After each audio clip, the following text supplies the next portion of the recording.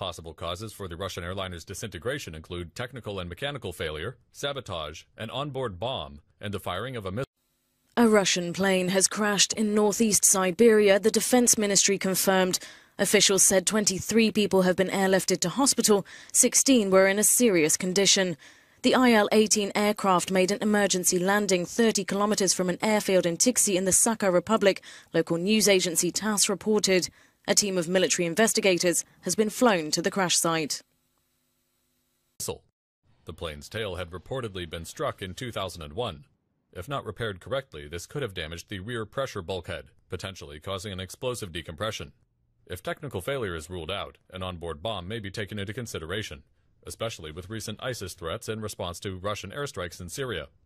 Another possibility comes from an Egyptian official who told Reuters that the plane split in two, with the tail section separating and burning. This may indicate an explosion.